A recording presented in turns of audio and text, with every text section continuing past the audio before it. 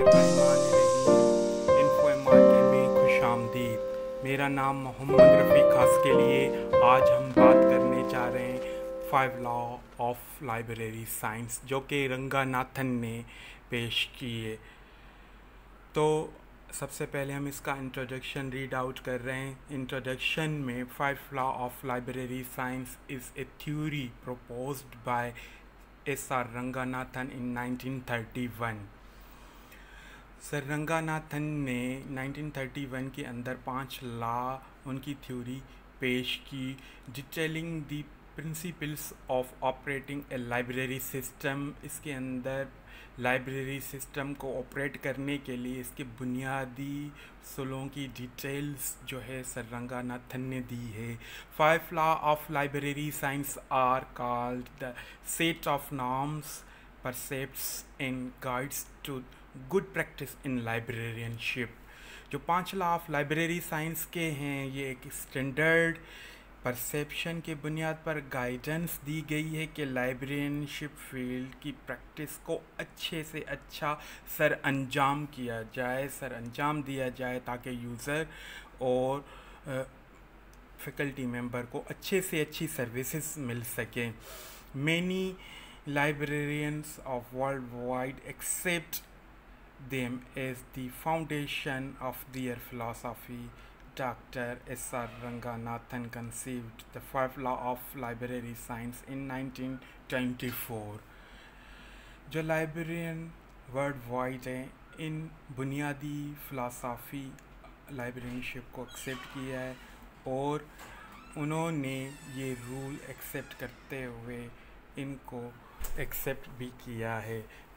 रंगानाथन ने कंसीव किए थे ये five law of library science 1924 के अंदर। ये statement embodying this law were founded in 1928 ये जो लॉ की स्टेटमेंट पहले फार्मूलेट हुई 1928 के अंदर these law were first published in Ranganathan classic book in title five laws of library science in 1931 ये पाँच ला जो लाइब्रेरी साइंस की एक मशहूर किताब सर रंगानाथन ने पब्लिश करवाई, इसका फ़र्स्ट एडिशन 1931 के अंदर, जिसका नाम था five law of library science उसके बाद हम बात कर रहे हैं इन तमाम लाज के ऊपर के जो ये पाँच ला हैं सर रंगानाथन ने दिए, वो ये हैं। नंबर वन इसका जो ला है books are for use books are for use ये जो पहला ला है, ये डिस्क्राइब करता है कि एंशियन टाइम मेडिवल टाइम और सम मॉडर्न टाइम्स के अंदर बुक्स जो होती थी, वो रेस्ट्रिक्टेड होती थी क्लोज एक्सेस के अंदर बुक्स अवेलेबल होती थी और आने वाले यूज़र या फैकल्टी मेंबर या विज़िटर्स को वो किताब बहुत ही मुश्किल से मिलती थी, उनका टाइम भी खर्च होता था और क्लोज एक्सेस भी होती थी। तो तकरीबन ये समझ लें कि बहुत बड़ी रेस्ट्रिक्शंस थी। इनको रेस्ट्रिक्शंस को हटाने के लिए रंगानाथन का ये फ़र्स्ट ला है कि बुक्स और फॉर यूज़ किताबें जो हैं, वो इस्तेमाल के लिए हैं। तो ये ला, इसीलिए उन्होंने सोच समझ कर पहला ला, इसे रखा कि रेस्ट्रिक्शंस हटाई जाए। Every reader his or her book हर एक यूज़र चाहे फीमेल हो, चाहे जेंट्स हो तो उसके लिए पढ़ने वाले के लिए किताब होनी चाहिए। तो पहले जो है फ्यूडलिज़म ज़माना था मेडिवल भी पीरियड बादशाह किंगडम्स थी तो वो अपने मनपसंद हजरात को बुक्स देते थे तो आम यूज़र को बुक्स अवेलेबल नहीं हुआ करती थी। तो उन्होंने ये ला पेश किया कि हर रीडर के लिए किताब होना चाहिए, ना कि मखसूस बंदों के लिए बुक्स होनी चाहिए। Third law every book its reader हर बुक का रीडर होता है। जैसे कि कुछ ऐसी मखसूस नादर नायाब किताबें थी जो वे, वो छुपा कर रखते थे।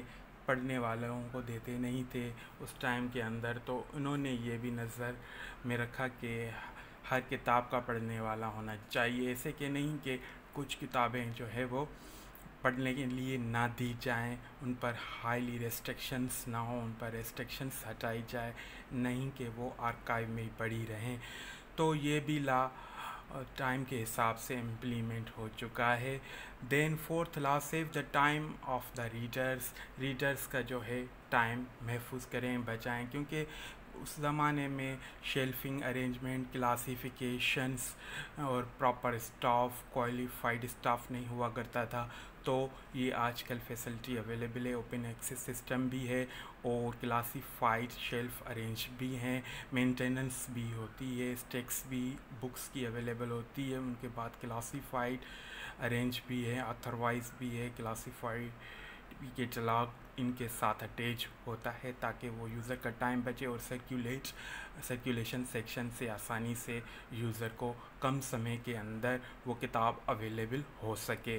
देन सिक्स लॉ जो लाइब्रेरी साइंस का है, ये जो डील कर रहा था library is a growing organism क्योंकि पुराने ज़माने में लाइब्रेरी की ग्रोथ बहुत कम हुआ करती थी, पर आजकल के दौर के अंदर लाइब्रेरी के बुक्स बुक्स के लिए एनुअल बजट्स भी रखा जाता है ताकि लाइब्रेरी के बुक्स के अंदर साल ब साल इजाफ़ा होता रहे और पढ़ने वालों को नई और अपडेट बुक्स मिलती रहें। पुराने वीडिड मटेरियल, पुराने बुक्स को वीड आउट किया जाए ताकि नए आने वाले मटेरियल को जगह मिल सके लाइब्रेरी के अंदर। तो ये ला भी आजकल इम्प्लीमेंट हो रहा है वर्ल्ड वाइड उम्मीद करता हूँ ये पाँच ला और इनकी जो थ्योरी हमने आपको दी है या बताई है, वो आपको पसंद आएगी।